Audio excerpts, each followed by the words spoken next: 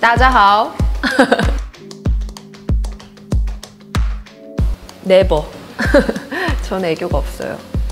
의아하시겠지만 드라마에 나오는 그런 막 애교스러운 그런 연기는 정말 열심히 노력해서 연기로 훈련된 그런 애교.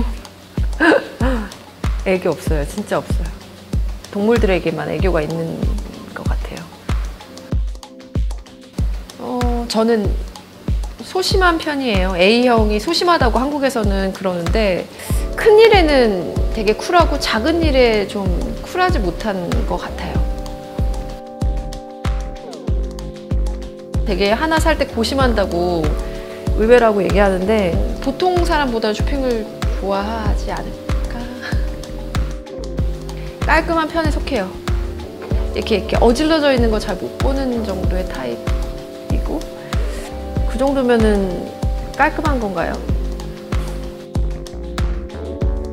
눈치 빠르고 임기응변에 강한 타입인 것 같아요. 그래서 아 이렇게 얘기하는 것보단 이렇게 얘기하는 게 좋겠다. 그런 뉘앙스를 잘 선택하고 당황했을 때 재치 있게 넘기는 방법이 뭔지 아는 사람이라고 생각해요.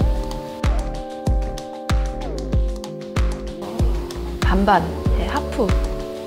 눈물이 되게 없어서 눈물을 흘려야 할 때 힘든 스타일은 아니고 그렇다고 감성적이어서 너무 마음 약하고 감성적이어서 막 뭐만 보면 오는 타입은 아닌데 이랬다 저랬다 제가 저를 확실하게 파악하고 있지 않은 것 같아요.